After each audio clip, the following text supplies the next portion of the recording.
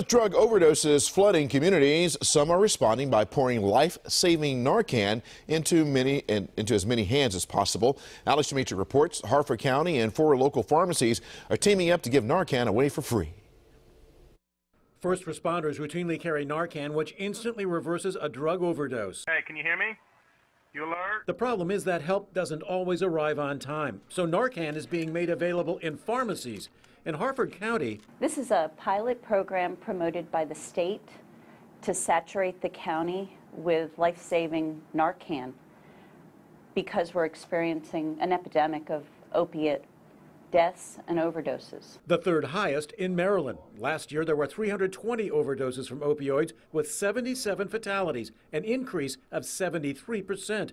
And so far this year, there have been 44 overdoses, resulting in eight deaths in just one and a half months.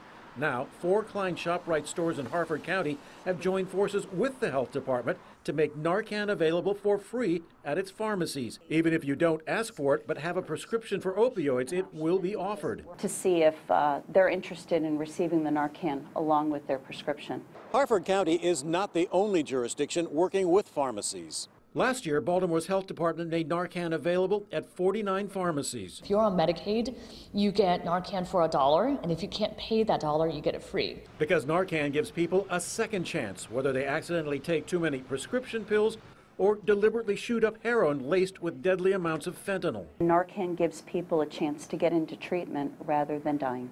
And maybe slow down a grim tally. Alex DeMetrick, WJZ. In Harford County, the free Narcan program is scheduled to run until July the 1st when funding runs out.